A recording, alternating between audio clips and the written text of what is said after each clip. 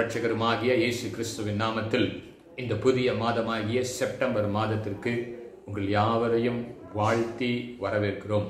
கடைசி கால தேவசேனை ஊழியங்கள் சார்பாக உங்களை சந்திப்பதில் நான் மிகுந்த மகிழ்ச்சி அடைகிறேன். ஒவ்வொரு மாதமும் முதல் நாள் வாக்குத்தத்த வசனத்தின் மூலமாய் உங்களை சந்திப்பதில் எனக்கு மிகுந்த மகிழ்ச்சி. எனக்கு அன்பான தேவ பிள்ளைகளே கடந்த எட்டு மாதங்கள் கத்தர் நம்மை பாதுகாத்தார். எத்தனையோ உபத்திரவங்கள் பலவீனங்கள் போராட்டங்கள் சமாதான சீர்கேடுகள். எத்தனையோ காரியங்கள் வந்தாலும் கத்த நமக்கு போதுமானவராக இருந்ததற்காக ஆண்டவருக்கு நன்றி செலுத்துகிறேன். நிச்சயமாகவே இந்த புதிய மாதத்திலும் ஆண்டவர் புதிய காரியங்களை செய்வார். யாவரும் இருக்கிற இடங்களில் கண்களை மூடி தேவ சமூகத்தை நோக்கி பார்ப்போமா? வசனங்களை கொண்டு வார்த்தைகளை கொண்டு கத்த நம்மை போஷிக்கும்படியாய் பலப்படுத்தும்படியாய் நம்மோடு கூட பேசும்படியாய் யாவரும் கண்களை மூடி தேவ சமூகத்தை நோக்கி பார்ப்போம். நல்ல பிதாவே குமாரனாகிய இயேசு கிறிஸ்துவின் அதிகாரமுள்ள நாமத்தில் நாங்கள் யாவரும் உடைய சமூக சமூகத்துக்குள்ளாய் வருகிறோம் அப்பா. இந்த புதிய மாதத்தை எங்களுடைய கரங்களில் நீர் கொடுத்திருக்கிறீர் உமக்கு ஸ்தோத்திரம். ஆண்டவரே இந்த புதிய மாதத்தில் வார்த்தைகளை கொண்டு வசனங்களை கொண்டு எங்களோடு கூட பேசுவீராக. கடந்த எட்டு மாதங்கள் எங்களை பாதுகாத்தீர். உமக்கு நன்றி. எங்களுடைய தேவைகள் எல்லாம் சந்தித்தீர். எங்களோடு கூடவே இருந்தீர். இந்த புதிய மாதத்திலும் என்ன வார்த்தைகளை எங்களுக்கு வைத்திருக்கிறீரோ வசனங்களை வைத்திருக்கிறீரோ அதை எங்களுக்கு தருவீராக. ஆசீர்வதிப்பீராக. இயேசுவின் நாமத்தில் ஜெபிக்கிறோம். நல்ல பிதாவே. ஆமே ஆமே எனக்கு அன்பான தெய்வ பிள்ளைகளே என்னோடு கூட சேர்ந்து யோவான் எழுதின சுவிசேஷம் இருபதாம் அதிகாரம் இருபத்தி ஒன்பதாவது வேத வசனம் இந்த வசனத்தை தான் ஆண்டவர் இந்த மாதத்தினுடைய வார்த்தையாக வாக்குத்தத்தமாக நமக்கு கொடுத்திருக்கிறார். யோவான் இருபது இருபத்தி ஒன்பது அதற்கு இயேசு தோமாவே நீ என்னை கண்டதினாலே விசுவாசித்தாய். காணாதிருந்தும் விசுவாசிக்கிறவர்கள் பாக்கியவான்கள் என்றார்கள். எனக்கு அன்பான தெய்வ பிள்ளைகளே ஆண்டவராகிய இயேசு கிறிஸ்து சிலுவை மரணத்திற்கு பின்பு உயிரோடு கூட எழுந்து மகதிலேனா மரியாளுக்கு அவர் வெளிப்பட்டார். சீஷர்களுக்கு அவர் வெளிப்பட்டார். இப்படி அவர் தன்னை வெளிப்படுத்தும் பொழுது தோமா அங்கு இல்லாததினால் சீஷர்களும் கூட இருந்த மரியாள்களும் தோமாவிடத்தில் பேசுகிற வசனத்தை இருபத்தி ஐந்தாவது வசனத்தில் நம்மளால் பார்க்க முடியும். வேதம் சொல்கிறது யோவான் இருபது இருபத்தி ஐந்து. மற்ற சீஷர்கள் கர்த்தரை கண்டோம் என்று அவனுடனே சொன்னார்கள். அதற்கு அவன் அவருடைய கைகளில் ஆணிகளினால் உண்டான காயத்தை நான் கண்டு அந்த காயத்திலே என் விரலை விட்டு என் கையை அவருடைய விழாவிலே போட்டாலொழிய விசுவாசிக்க மாட்டேன் என்றான். எனக்கு அன்பான தேவ பிள்ளைகளே தோமாவினுடைய அறிக்கையை பாருங்க. சீஷர்கள் சொல்றாங்க நாங்கள் கர்த்தரை கண்டோம் என்று. ஆனால் தோமா அதற்கு பதில் சொன்ன காரியம் பெரிய ஆச்சரியத்தை கொண்டு வருகிறது. இயேசு கிறிஸ்துவினுடைய கைகளிலே ஆணிகளினால் உண்டான காயங்களை நான் கண்டு அதில் என் விரலை போட்டு அவருடைய விழாவிலே அந்த காயத்தில் என்னுடைய விரலை போட்டால் ஒழிய நான் விசுவாசிக்க மாட்டேன்.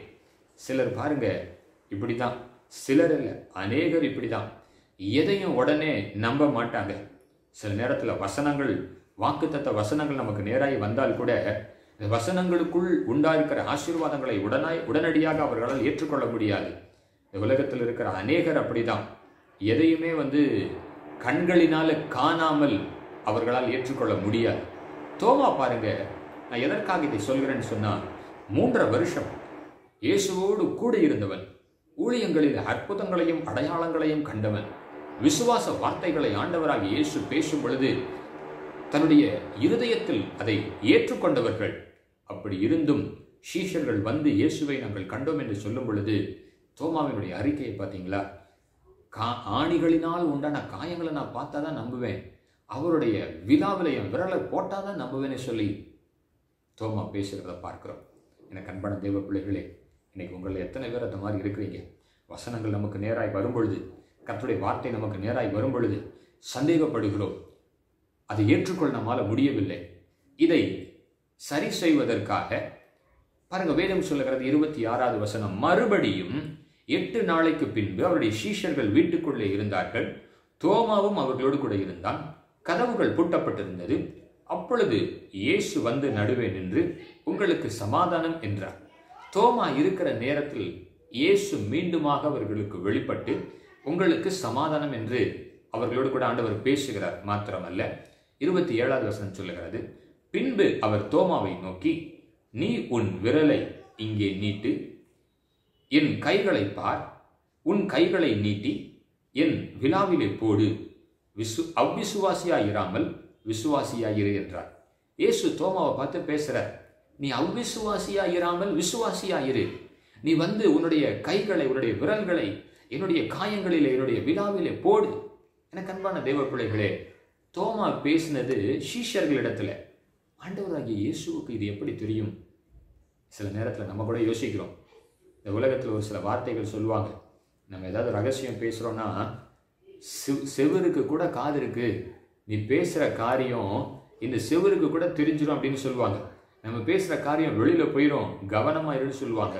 அப்போ பாருங்க ஒரு செவருக்கு காது இருக்குன்னு சொல்லி இந்த உலகத்தின் மனிதர்களால் சொல்ல முடியும்னு சொன்னால் தோமா சீஷர்களிடத்தில் பேசினதை இயேசு அறிந்திருந்தார். தோமாவுக்காகவே மீண்டுமாய் அவர் வெளிப்பட்டார். தோமாவை அழைத்தார். தோமாவே நீ சொன்ன காரியம் என்ன? இங்கே வா. உன்னுடைய விரலை உன்னுடைய கைகளை நீட்டு. என் கைகளில போடு என் விழாவில் போடு. உன் சந்தேகம் தீரட்டும். என கண்பான தெய்வ பிள்ளைகளே அவிஸ்வாசத்தோடு இந்த மாதத்தில் உட்கார்ந்துருக்கீங்களா? என்ன நடக்க போகுது? எப்படி நான் எப்படி காரியங்களை சமாளிக்க போகிறேன்? யார் நமக்கு உதவி செய்ய போகிறா என்ற கலக்கத்தோடு உட்கார்ந்து கொண்டிருக்கிறீர்களா? உங்களை சந்திக்க இயேசு வருவார். உங்களுடைய அவ்விசுவாசத்தை எடுத்து போடுவார் ஆகிலும் அவர் சொன்ன வார்த்தை என்ன? அதைத்தான் நமக்கு வாக்குத்த வசனமாக நம்ம வச்சிருக்கிறோம் நம்ம நமக்கு ஆண்டவர் கொடுத்திருக்கிறார். ஆகிலும் அவர் சொன்னது என்ன? அதைத்தான் இந்த மாதத்தினுடைய வாக்குத்தத்தமாக ஆண்டவர் நமக்கு கொடுத்தார். இருபத்தி ஒன்பதாவது வசனம். நீ என்னை கண்டதினாலே விசுவாசித்தாய். காணாதிருந்தும் விசுவாசிக்கிறவர்கள் பாக்கியவான்கள். என கண்பான தேவ பிள்ளைகளே விசுவாசம் நமக்குள்ளாக எப்படி கிரியை செய்கிறது? எதற்காக ஆண்டவர் விசுவாசத்தை பலப்படுத்த விரும்பினார்? அப்போஸ் பவுல் தன்னுடைய உத்தம குமாரனாகிய தீமோத்தேயுக்கு எழுதுகிற வசனங்களை கவனிங்க. ஒன்று தீமோத்தையின் புஸ்தகம் ஆறாவது அதிகாரம் பனிரெண்டாவது வேத வசனத்தை நான் வாசிக்கிறேன். ஒன்று தீமோத்தையும் ஆறு பனிரெண்டு. விசுவாசத்தில் நல்ல போராட்டத்தை போராடு. நித்திய ஜீவனை பற்றிக்கொள். இதற்காகவே நீ அழைக்கப்பட்டாய். அநேக சாட்சிகளுக்கு முன்பாக நல்ல அறிக்கை பண்ணுகிறவனாயிரு. என அன்பான தெய்வ பிள்ளைகளே அப்போஸ் நாக்கிய பவுல் தீமோத்தேயுக்கு சொல்லுகிற ஒரு அட்வைஸை பாருங்க. அவனுக்கு கற்றுக் கொடுக்கிற வேத வசனத்தை பாருங்க. விசுவாசத்தில் நல்ல போராட்டத்தை போராடு. ஒவ்வொரு நாளும் நமக்கு போராட்டங்கள் உண்டு. சத்ருவானவன் பலவிதத்தில் நமக்கு போராட்டங்களை கொண்டு வருகிறான். எப்படி இந்த போராட்டத்தில் நம்ம ஜெயம் பெற முடியும்? விசுவாசத்தினால். விசுவாசத்தினால நல்ல போராட்டத்தை போராடு. நித்திய ஜீவனை பற்றிக்கொள். கத்த நமக்கு வாக்கு பண்ணியிருக்கிற நித்திய ஜீவனை நம்ம பெற்றுக்கொள்ள வேண்டும். எனவே விசுவாசத்தில் வருகிற எல்லா போராட்டங்களையும் நம்ம போராடி ஜெயிக்கிறவர்களாய் இருக்க வேண்டும். அதற்காகவே நீ அழைக்கப்பட்டாய். எனக்கு அன்பான சகோதரனே எனக்கு அன்பான சகோதரியே போராட்டத்தை கண்டு ஒரு நாளும் சோர்ந்து போகாதீங்க. பின்வாங்கி போகாதீங்க. சந்தேகப்படாதீங்க. விசுவாசத்தோடு நல்ல போராட்டத்தை போராடும் பொழுது கத்தர் ஜெயத்தை கொடுப்பார். அநேக சாட்சிகளுக்கு முன்பாக நல்ல அறிக்கை பண்ணுகிறவனாக இரு. எப்படி நல்ல அறிக்கை அநேக சாட்சிகளுக்கு முன்பாக எப்படி நல்ல அறிக்கை பண்ண முடியும்? எப்படி விசுவாசத்தில் நல்ல போராட்டத்தை போராட முடியும் எனக்கு அன்பான தேவ பிள்ளைகளே அதற்கு வசனம் சொல்லுகிறது.